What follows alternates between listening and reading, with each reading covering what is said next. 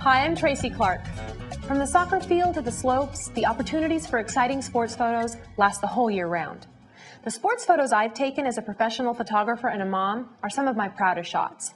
They were also some of the trickiest photos to capture. Today, I'll show you some easy ways you get impressive, professional looking sports photos you'll want to show off. No matter what type of sports photos you're shooting, don't be shy about getting into position. You'll need to get as close as possible to your subject and be sure to get down at that level of where the action is for winning results. This photo would be much less exciting if I had been standing five feet further away when I shot it.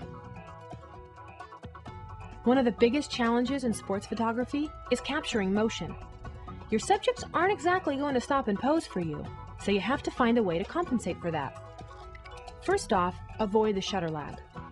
This is the lag time between when you push the shutter button down and when the camera actually captures the photo.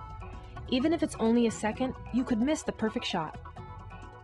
To avoid shutter lag, press the shutter button halfway down. This allows your camera to focus and make other small adjustments. When you're ready to catch the shot, push it all the way down.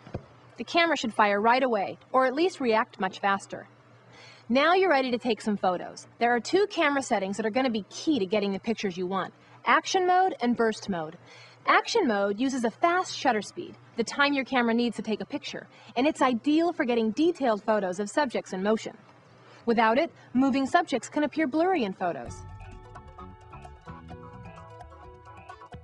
Burst mode typically takes several pictures in a quick succession. This is a great feature when you want to show the progression of an event.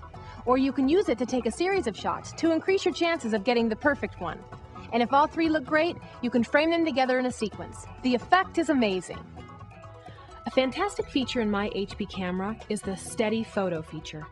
It helps avoid blur in photos, caused by either the subject motion or camera shake, and is especially useful if you're zooming in on a subject from a distance.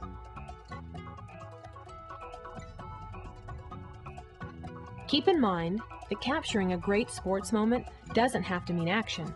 Portraits of your children in their uniforms or sports gear also tells a great story. Besides, they're absolutely adorable. Shoot a few photos before and after the big game. Especially if they win, you'll be sure to get a great smile. So there you go. Some easy ways to bring energy and excitement to sports photos. And that's what it's all about, right? Well, that's all for now, and I'm Tracey Clark. See you next time.